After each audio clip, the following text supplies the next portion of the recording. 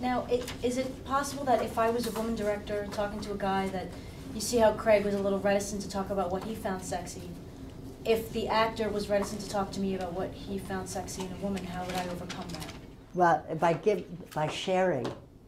See, because because you could say what I find sexy on a guy it's the back of the way his hair, the ear, and the back of his neck, so and eyelashes. I'm just hot for eyelashes. I married a man because he had thick eyelashes, and he gave me a son with thick eyelashes. So that's nice. You know, so now he feels free. So you Right. you can, you can expose yourself completely without ever saying anything that you really want to keep a secret.